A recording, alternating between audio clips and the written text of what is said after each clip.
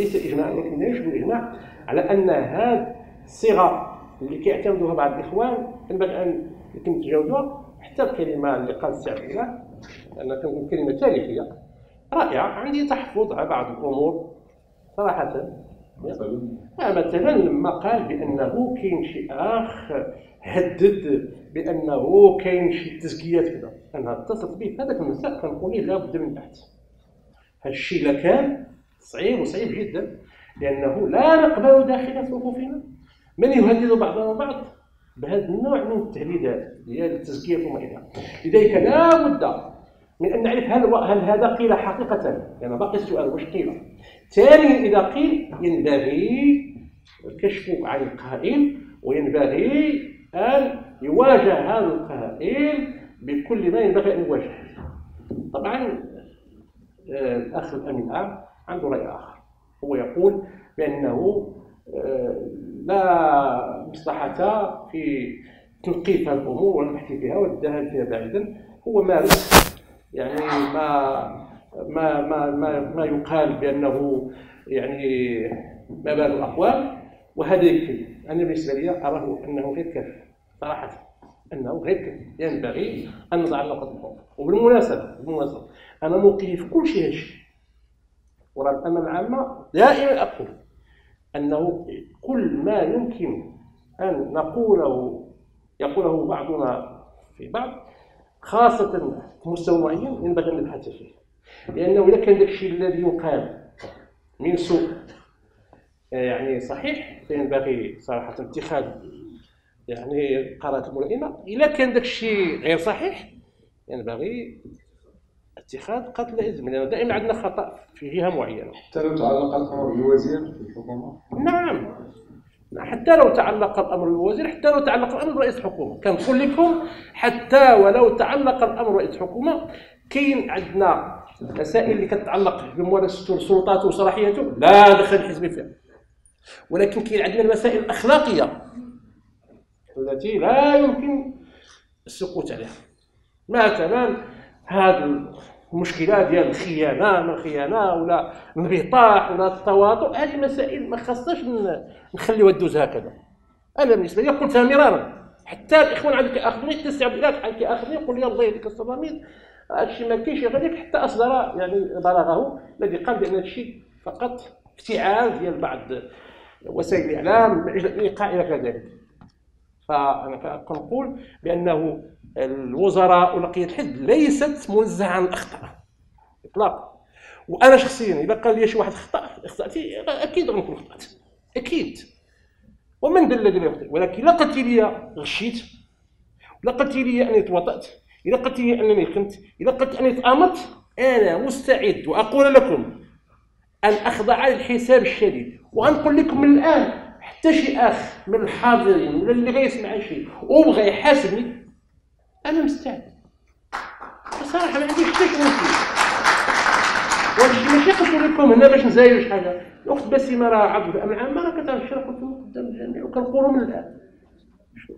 اخطاء اخطاء ولكن خطايا هذه خط أحمر لا يجوز لأحد منا أن يوصف بها اذا اذا كانت فيه خص يمشي بحاله ما كانش فيه خاص الناس يخرسوا ما يبقاوش يردوا يعني الاكاذيب والأباطيل. وأنا أقول لكم أن قوة حزب العدالة والتنمية هي هذه وأشدد على ما تفضل به السيد رئيس السيد الامين العام السي إلى الكلام في كلمته الرائعه كلمة مؤطرة كلمة موجهة كلمة رائدة اللي وضعت فيها نقاط الحروف في هذا الموضوع.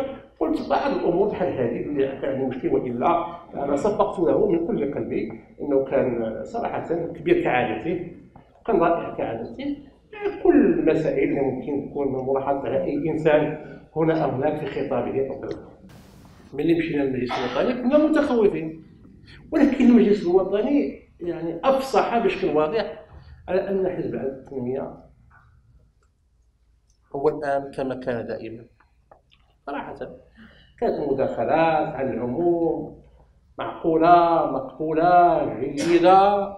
ديك النتوءات في التعبير اللي كانت هنا هنا ما كايناش ما كانش أي حاجة اللي بالعكس غنقول لك مؤشرات شر حنا اتفقنا في الأمانة العامة أن ما يهم الحزب سيجيب الأمين العام وغير غنجاوب نكون هانين وما يهم الحكومة سيجيب رئيس الحكومة وقد كان كنا راضين صراحة على كلمة الأخ رئيس الحكومة اللي كانت في الأول في الأخر هو ما شافش شي حاجة كتوجه للحكومه والنقاش ما جاش للحكومه تقريبا.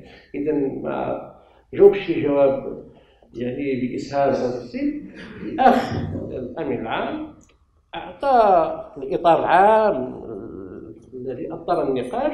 وصراحة ما بقاش شي واحد ما يمكن يزيد عليه. كلامه لأن كل ما يمكن أن يقال في حزب مسؤول في واحد السياق صعب. قاله الشعب إله وحنا كنا غير الشعب يقولوا لأنه هو الامين العام. وهو رئيس حكومة ديال المرحلة السابقة هو رئيس الحكومة ديال المرحلة الثانية التي تم إعفاؤه. إذا كثير من الأمور تدور حول المرحلة التي ترتبط بالشخصيه إذا كلامه ليس ككلام أي أحد. عنده واحد الواقع خاص. لذلك الاخوان خرجوا الاخوات خرجوا جميعا مطمئنين على مستقبل الحزب طبعا كاين شوية المشاكل اللي غتكون أي تجمع كاين تخوفات كاين توجسات. ولكن أنا أقول لكم من الآن بالحكمة المعروفة على حزب التنميه وقيادته سيتم تجاوزها إلا إذا كانت شي يعني أمور اللي هي على كل حال غير متوقعة وهذا ممكن في جميع التجمعات البشرية. اولا إنقاذنا ما أعتقد أن الموضوع فيه شغارات حتى نكون في حاجة للموقف ونبغي نقول جوج مسائل. المسألة الأولى هي أنه السي عبد الكريم ليس إنسان عادي تحفظ القلب إنسان ماشي عادي. إنسان متفرد. إنسان متميز. أنتم يلا تكتشفوا حنا اكتشفنا شحال. ولكن أيضا الكمال لله. شيء طبيعي. شيء طبيعي. اذا طبع الكرام طبع مسار الاسلاميه كلها بمواقف راه ثلاثة العقود إلى أربعة العقود والسحب كذا في جميع التجمعات واللقاءات لا يخلو ذكره من واحد. أنا شخصيا كنت أنتمي بال 96 إلى رابطة المستقبل الإسلامي وقبلها إلى وإلى وإلى ولكن حنايا بعيد عن حركة الإصلاح والتجديد وكان دائما إلى والتصريحات ديالو والمواقف ديالو تهز يعني جميع اللقاءات ويختلف الناس حولها إلى ذلك. وعنده صراحة خصال نقول لك خصال متفرده. مرة أخرى باش نبقى شوية ما تحسب ولكن راه كبشر عنده أيضا أخطاء كما عندي اخطائي وكما كذا اذا لما يتعفى رئاسة الحكومة لما كتشوف بأن ما غيبقاش أمين عام الناس يختلفون شيء طبيعي. البعض غادي يقول خاصو يبقى ولو نغير القوانين وبعض غادي يقول لا. هو الأخ عبد الكرام أنا مع أنا غنقول لك واحد الحاجة أنا غنقول لك رايي كعفو السعد إلى أكثر من سنتين هذه رايي قلت للسعد إلى الكرام أكثر من سنة. غنقول لكم قلت لي في 2015 بيني وبينه تكلمنا بالتفصيل هذا الموضوع. اذا لا أريد أن أعود إلى هذا ثانيا أسوأ ما يمكن أن يواجه حزب العدل والتنمية وهذه اللي بغيت نقول لكم هو أن يصبح نقاشه في هذه المرحلة اللي هي مرحلة مهمة هي مرحلة يعني استقبال المؤتمر يعود كلامه عن الأشخاص. إحنا كلامنا خصو يكون على برامج المشاريع الأفكار. هذا هو الحزب اللي صراحة أنا يعني أنتمي إليه. أما إذا كان حزب الأشخاص أنا صراحة ما عندي به علاقه السؤال ديال السؤال مع من أنا نقول لكم لا أريد أن أكرس هذا الشيء. أنا خليت الوقت وغادي نتكلم. وغنقول على الرامونتيجي بالوضوح اللازم وهذا الموضوع عندي وارد جدا. وعندي فيه أمور كثيرة. كما قلت لك السابقه وجميع الأصدقاء مقربين جدا جدا قلت في أوقات ديال عامين هذه وزياده ولذلك أنا ما غنقولش لكم اليوم علاش؟ لأن غنكرسوا نفس المسائل اللي أنا كنتهرب منها وهي تكريس النقاش حول الشخص.